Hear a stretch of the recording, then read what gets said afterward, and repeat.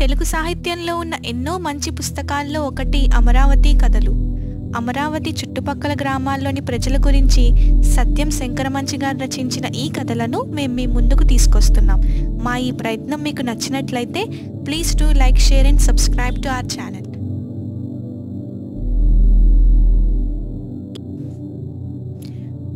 Amaravati కథల్లోని మూడవ కథ పునుకుల పుట్టలో లచ్చితల్లి ఇప్పుడు మనం కథలోకి వెళ్తే అమరావతికి ధరణికోటకి మధ్య కృష్ణ ఒడ్డున ఓ పెద్ద చింత చెట్టు ఉంది రాత్రిళ్ళు ఆ చింత చెట్టు పక్కలకి ఎవ్వరూ వెళ్ళరు. అక్కడ దెయ్యాలు తిరుగుతుంటాయని భయం.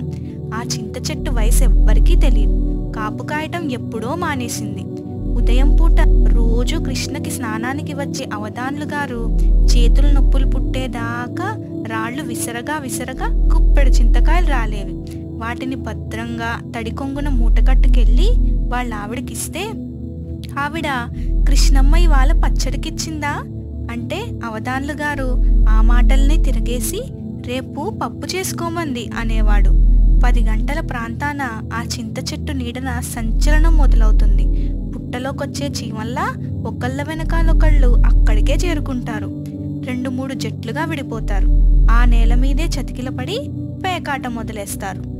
కొమ్మల మధ్య నుంచి ఎండపొడ చురుక్కున పొడుస్తున్నా లెక్క చేయకుండా దీక్షగా సాగుతున్న పేకాట యజ్ఞవేదిక దగ్గరకు నిదానంగా నడిచొస్తాడు పునుకుల సుబ్బాయి.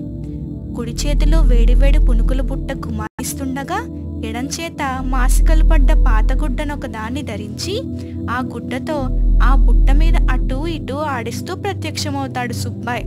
ఆ పాతగుడ్డ అలా గాల్లో ఆడించటంలో క్రిమి కీటకాదులను పారద్రోలటమే కాకుండా పునుకుల ఘుమఘుమని నలుదిక్కులకి విస్తరింపజేసే ప్రయత్నం కూడా ఉంది. ఆ ఘుమఘుమ గాల్లో పరుగెత్తుకొచ్చి ముక్కుకి సోకటంతోటే అక్కడి జనానికందరికీ ఒళ్ళు జలధరించి కడుపులో జఠరాగ్ని ఉవ్వెత్తున లేచేది. ఒరే సుబ్బాయ్ ముందిటివ్వరా? నాకిచ్చెల్లెహే. ఇట్రమ్మంటుంటే ఇలా అన్ని దిక్కుల నుంచి ఆపకుండా వస్తున్న అరుపులు కేకలు అందుకున్న సుబ్బాయ్ అయ్యా వచ్చే. ఇదిగో ఇక్కడే. ముందు మీకే. ఇదిగో ఆకు. అంటూ ఎక్కడికక్కడ సమాధానాలు చెప్తూ మెరుపులా తిరుగుతూ వర్షధారల మధ్య గుర్రాన్ని నడిపే చాకచక్యంతో క్షణాల మీద అందరికీ పునుకులు అందించేవాడు కానీ పచ్చడికి మహాలోభించేవాడు. మరి కాస్త పచ్చడయ్యరా? అని ఎవరైనా అంటే ఏటు బాబు పునుకులు తింటే బలంగానే పచ్చడి తింటే ఏమొస్తుంది? అని విసుక్కుంటూ కాస్త విదిలించేవాడు. ఎంత వేగంతో పునుకులు ఇచ్చేవాడో అంత వేగంతో డబ్బులు వసూలు చేసేవాడు. పేక కలపనిచ్చేవాడు ఇచ్చేవాడు కాదు. ఆటలో పడి మర్చిపోతారు బాబు అంటూ వెక్కిలి నవ్వుతో వినయంగా గొంతు మీద కూర్చునేవాడు. ఇంతలో రేవులోకి అవతలి ఒడ్డు నుంచి పడవచ్చేది. రయ్యిన బాణంలాగా రేవులోకి వెళ్ళిపోయేవాడు సుబ్బాయ్. పునుకులు వేడి పునుకులు అంటూ దిగిన వాళ్ళని చుట్టుముట్టేవాడు. సామాను శాంతం దింపుకోకుండానే పునుకులు కొనిపించేవాడు. ఎవరైనా కొనని వాళ్ళుంటే వాళ్ళ పిల్లల చుట్టూతా బుట్ట చూపిస్తూ ప్రదక్షిణాలు చేసేవాడు. పిల్లల తాకిడికి తట్టుకోలేక చచ్చినట్టు కొనేవాళ్ళు. రేవుకి చింత చెట్టుకి మూడుసార్లు తిరిగేటప్పటికీ తిరిగేటప్పటికి బుట్ట సగం పైగా ఖాళీ అయ్యేది. బేరం కొంచెం మందకొడిగా ఉన్నప్పుడు పేకాట ఆడుతున్న వాళ్ళ వెనక చేరి పోలయ్య గారు ముక్క తీయండి ఆ దెబ్బతో ఆట అయిపోవాలా అనేవాడు. ఆ ముక్కతో ఆట అయిపోయిందనుకోండి పోలయ్య అడగకుండానే ఆకులో పునుకులు పెట్టి ఇచ్చి డబ్బులు వసూలు చేసేవాడు. ఆట అయిపోయి కూర్చున్న వాళ్ళ దగ్గరికి వెళ్ళి వద్దురా అంటున్నా పచ్చడి ఎక్కువేసాను తీసుకోండి మళ్ళీ ఆటేసేదాకా ఖాళీయేగా అంటూ అంటకట్టేవాడు సాయంత్రం మూడు గంటల వేళ పుట్ట ఖాళీ అయినా సుబ్బాయి అక్కడి నుంచి కదిలేవాడు కాదు అసలు బేరం ఆ తర్వాతే. పేకాట కురుక్షేత్రంలో కాళ్ళు చేతులు విరిగి తల పగిలి అడ్డం పడిపోయిన జనం సుబ్బాయి వైపు దీనంగా చూసి ఓ రెండు రూపాయలు అప్పివ్వరా అని ఎవరైనా అంటే నా దగ్గర ఏముంటుంది బాబు? పునుకులు అమ్ముకునేవాణ్ణి అనేవాడు సుబ్బాయ్. ఎవరడిగినా ముందా వాక్యం తప్పకుండా అనగా ఆ తర్వాత సంభాషణ దాదాపు ఇలా సాగేది. అమ్మకంలో దివ్వరా? అమ్మో ఇది ఇస్తే బియ్యానికి లేవు బాబు. సాయంత్రానికి ఇస్తాలేరా ఇప్పుడు మీకు ఇస్తే రేపు మళ్ళీ సరుకులు వేసుకురావాలా? ధరలు మండిపోతున్నాయి. నీ పావలా వడ్డీ వేసుకోరా? వడ్డీ అసలు మీ దగ్గర ఎక్కడికి వెళ్తుంది బాబు? నా ఇబ్బందే.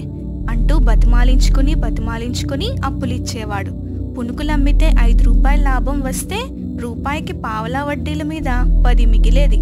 సాయంత్రానికి వసూళ్ళు పూర్తి చేసుకొని చీకటి పడ్డాక సారా కొట్టు దగ్గరకు వచ్చేవాడు సారా కన్నె ఓ ముద్దిచ్చి వెళ్ళిపోతే జిల్లైపోయి ఆ సారా కన్నెని శాంతం కౌగులించుకునేందుకు డబ్బులు లేక గిలగిల్లాడే సారా సరస్సులకి అర్ధ రూపాయి వడ్డీల మీద అప్పులిచ్చేవాడు సుబ్బాయ్.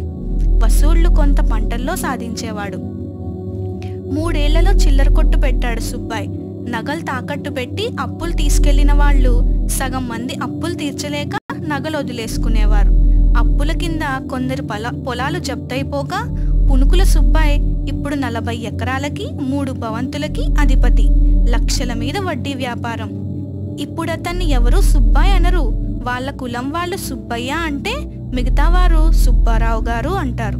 మనవలు మనవరాళ్ళతో ఘనంగా బతుకుతున్న సుబ్బాయ్ ఎవ్వర్నీ నమ్మడు. తెల్లవారుజామునే లేచి తలుపు వేసుకొని రహస్యంగా ఓ గంటసేపు ప్రార్థన చేస్తాడు. నా ప్రార్థనే నా లక్ష్మి అంటాడు అందరితో. పట్నం కాలేజీలో చదువుతున్న సుబ్బాయి మనవడు తండ్రి తాతలు పెట్టిన బుచ్చయ్య అనే పేరును హేమంత్ కుమార్గా మార్చుకొని సెలవులకి ఇంటికొచ్చాడు.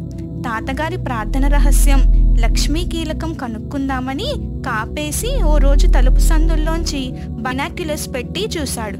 లక్ష్మీ రహస్యం తెలిసిపోయింది. సుబ్బారావు గారు అలనాడు పునుకుల బుట్ట మీద ఆడించిన మాసికల పాతగుడ్డల్ని పూజిస్తున్నారు. అదండి ఇంతటితో కథ కంచికి మనం ఇంటికి.